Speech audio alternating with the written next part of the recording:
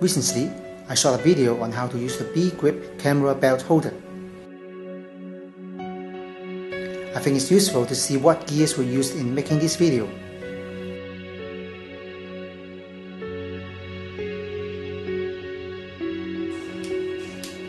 This is the safety lock. Hold down the lock, lift the release lever, and you can withdraw the quick release plate. This is the anti-vibration guard which is used to prevent screw loosening.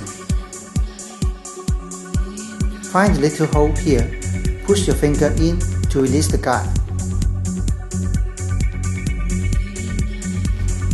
Then fix the plate to the camera's tripod mount.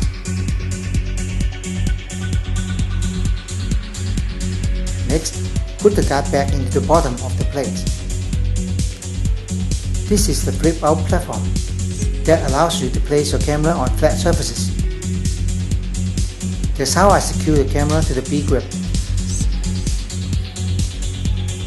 The quick release plate can be mounted to your lens as well.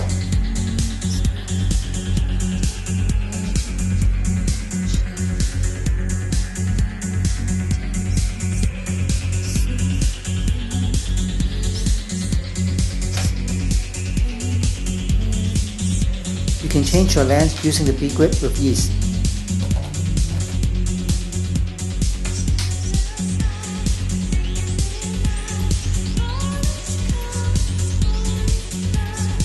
This plate fits a wide range of tripods. That makes your job a lot easier.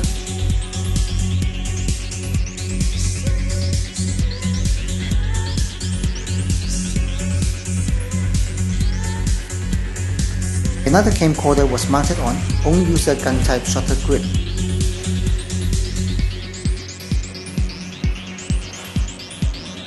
This mini tripod is foldable and can be turned into a grip. Press the two gray knobs and you can adjust the angle swivel plate. This foldable gun type grip can be used for video shooting. Spread the legs and it turns into a mini tripod again. If you want to use it as shutter grip, break this grip to the camera's tripod mount. Get hold of the shutter cable that is included. Connect one end to the grip.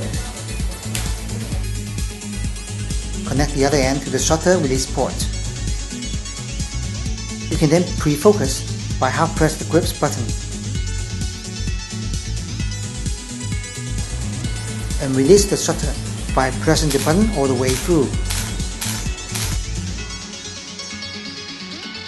To shoot videos that need smooth camera movements, you must have a tripod that allows fluid pan and tilt function as well as friction control.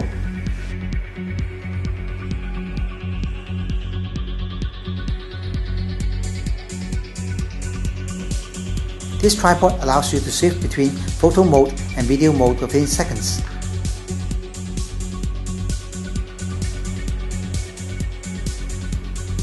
This is a fully featured video head with all the typical video settings, which I will show you later. It comes with an independent pan lock.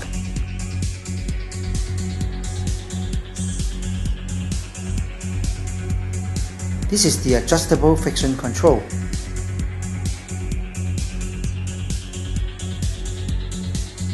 This is the tilt lock. This is the friction control for tilt movement.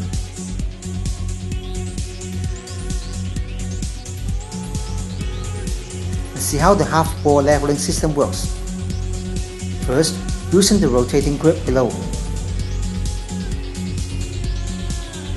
Adjust the position of the red color half-ball with reference to the bubble level. Check the lock when you are ready. As such, there's no need to make micro adjustment to each tripod leg.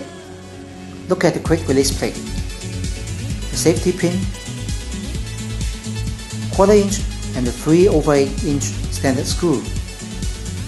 Release the locking knob, hold down the release button, slide the plate to the direction of the same button.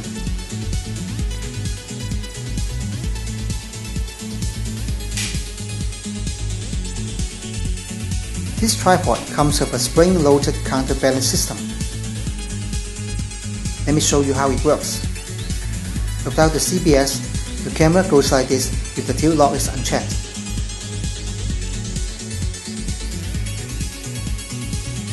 If the system is on, it keeps your camera from going off balance.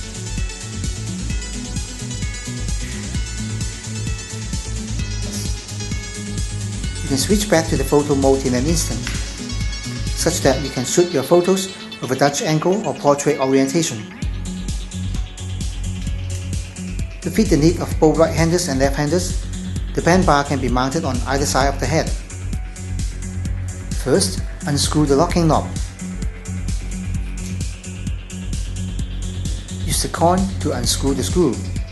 Then you can pull out the pan bar. Put the locking knob back in. Tighten the screw and it's done. When the things are done, you can lock the pan bar to the tripod leg using its locking clip.